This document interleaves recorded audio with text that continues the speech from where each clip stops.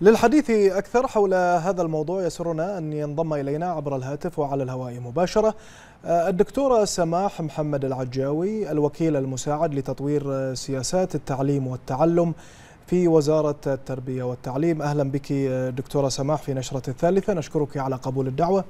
ما هي أبرز الجهود التي ساهمت في تقدم طلبة مملكة البحرين باثنتي عشرة نقطة معيارية في الاختبار الدولي مقارنة بنتيجتهم في الاختبار السابق. بسم الله الرحمن الرحيم. السلام عليكم جميعا وعلى المشاهدين. في البدء أحب أن أبارك للقيادة الرشيدة هذا الإنجاز التربوي الذي يضاف إلى إنجازات مملكة البحرين في مجال التربية والتعليم. وهذا للأمانة ليس بالشيء الجديد على طلابنا وعلى تربوينا كذلك أبارك لجميع طلبتنا اللي اشتركوا في هذه الدراسة الهامة.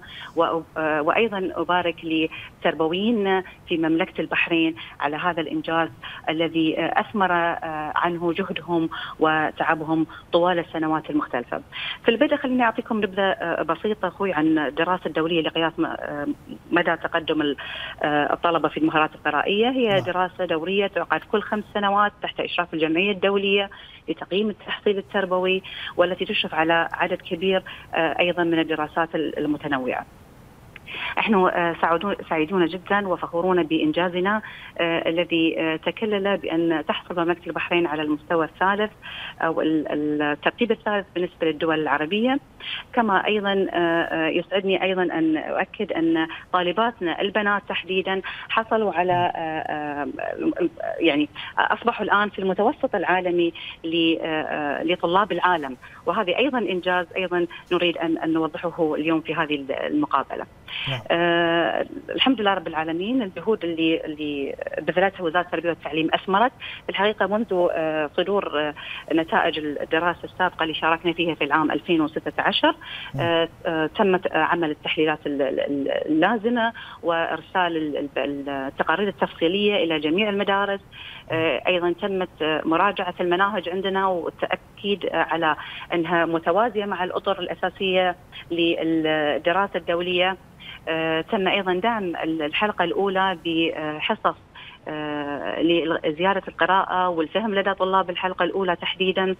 آه كما أيضا تم تدريب المعلمين والمعلمات ودعمهم باستراتيجيات مختلفة لتطوير عمليات القراءة.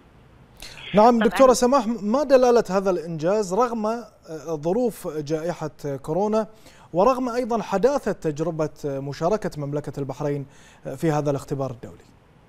طبعا آه هذه كان تحدي كبير في تطبيق الدراسة ورقيا وحضوريا في مدارس مملكة البحرين الحكومية والخاصة جميعها لأن عينة البحرين عينة شاملة يعني جميع المدارس دخلت هذه الدراسة. نعم. آه وصراحة في ظروف الجائحة كان ظرف آه يعني للامانه غير مسبوق للعالم جميعا لكنه النتيجة اللي حصلنا عليها ولله الحمد تؤكد على نجاح اولا جهود وزارة التربية والتعليم في ضمان استمرارية التعلم لجميع طلبة المدارس في المدارس الحكومية وكذلك كذلك في المدارس الخاصة. كما تؤكد أيضا هذه النتيجة على أننا ولله الحمد استطعنا المحافظة على قدر عال من من جودة عمليات التعليم والتعلم والدليل على ذلك أن ولله الحمد مستوانا ما ثبت بل بالعكس أن إحنا تحسنا عن خمس سنوات سابقة. طبعا هذه ليست طموح ولكن إحنا نطمح إلى الوصول أيضا إلى المزيد والمزيد أيضا من التقدم في السنوات القادمة. لكن الجائحة ولله الحمد يعني لم توقفنا عند حد معين ولكن انطلقنا أيضا إلى آفاق جديدة.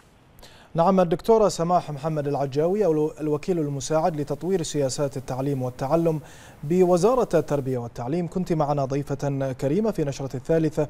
شكرا جزيلا لك.